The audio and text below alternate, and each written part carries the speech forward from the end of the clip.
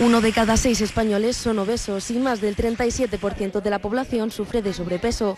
La crisis no ayuda a su salud. Su presupuesto ha mermado mucho y van alimentos pues, de cocina rápida, eh, de, de bajo coste que en muchos casos pues, les está produciendo ese paso a obesidad. Un grupo de amas de casa como Gema se han propuesto enseñarnos que podemos llenar el carro de la compra de alimentos sanos con el mismo presupuesto. Intento venir a hacer la compra ya con una lista hecha de casa para intentar no picar. Lo más importante, la planificación. Cuando uno va con apetito, que no ha comido, eh, pues suele incluir en ese carrito de la compra mucha compra por impulso pues de bollería, de platos precocinados. Ajustar el presupuesto no es incompatible con comer mejor. Antes, por ejemplo, en casa comíamos muchos solomillos y como la economía está así, hemos tenido que bajar al pollo, que es más económico.